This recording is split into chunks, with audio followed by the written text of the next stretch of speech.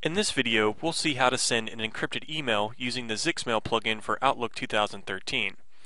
The plugins for Outlook 2010 and 2007 are essentially the same. From Outlook, click on New Email to open the Compose window. Add your To and CC fields.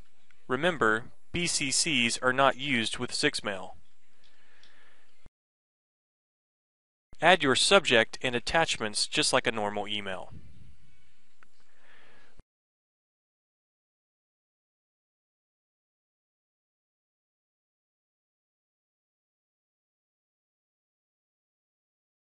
When you're ready to send your message, click the Encrypt and Send button added by the Zixmail plugin. Enter your password. This is the signature phrase you created when you installed Zixmail. You can select a read receipt at this time as well.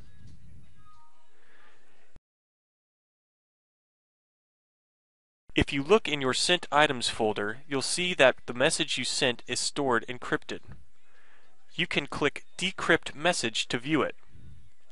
Enter your password to unlock the message. Your original message is now visible for review.